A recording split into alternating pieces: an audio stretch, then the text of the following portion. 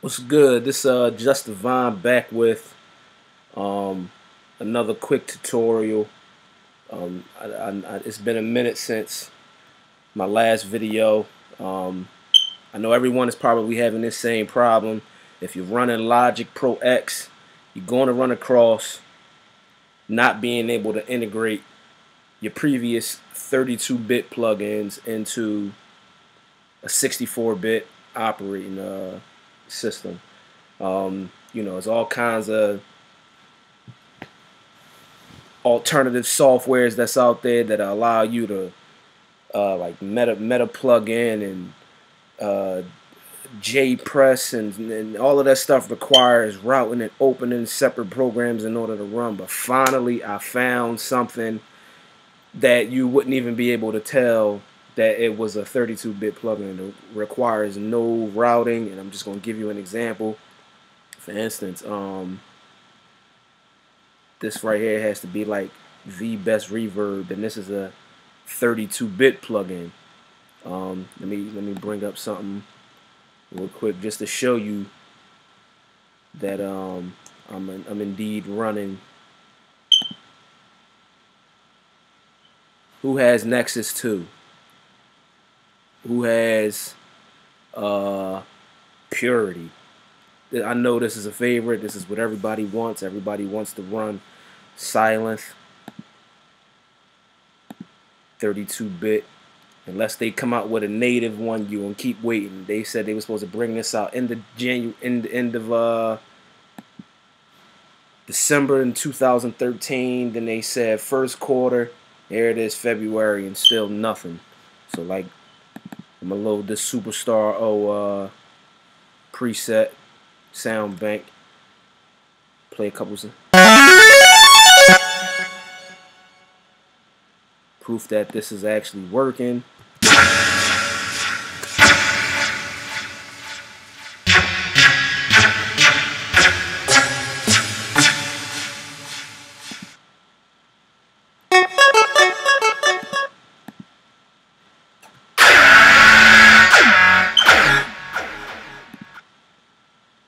Trying to demo any sounds or nothing, but just proof that you can run your 32-bit plugins. This was one of my favorites. Um, Soundtoys. I don't know why, but all of them didn't show up. Um, perhaps I'm going to just try to run it again. And finally, the name of the software that is used is 32 Lives. I'll put a I'll put it in the um in the, in in the description. I mean, and, and installing it was very simple. You just simply run the same way you would check for your your new plugins. You you you open up the DMG, you install it, and that's as simple as that. This has got to be like the best thing since Logic Pro X came out. This is kind of what it looks like when you um when you open it up. So if you look at if you look at the versions of the of uh of the VSTs that I have. If you just just look at the versions, and I mean the proof is in the pudding. Um, anything that says resurrected is uh, a plugin that is now 64-bit when it was 32-bit. So what you would pretty much do, you just will go to it or you Command A, select all, and then just hit resurrect and whatever whatever whatever plugins that you have in in your uh, in your folder, it'll it'll find them and, and bring them right up. So um, while I got you guys here, I just kind of wanted to preview a, uh, a track um, that I that I that I just produced. Um, let me know what you uh, think about it and um, support 32 lives think it's like a hundred dollars for like the uh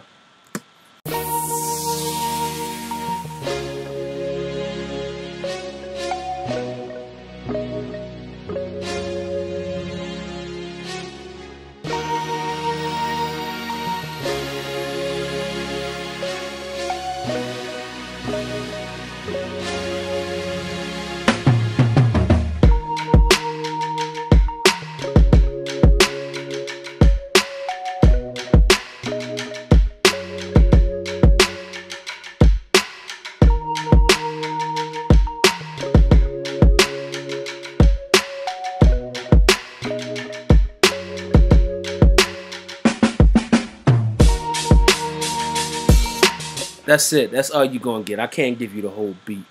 Um, anybody interested in purchasing any tracks, you know, feel free to contact me. Serious inquiries only.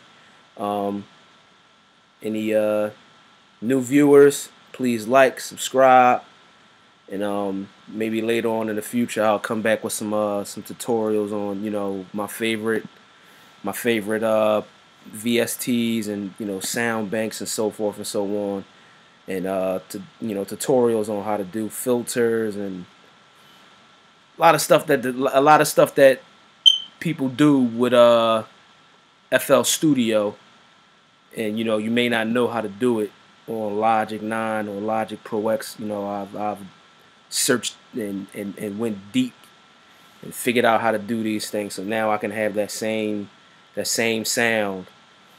Um, you know, uh, you know, even when it comes down to like doing the hats that Cardiak does, you know, who knows what may come out of it. So um, please like, subscribe, and hope you enjoy.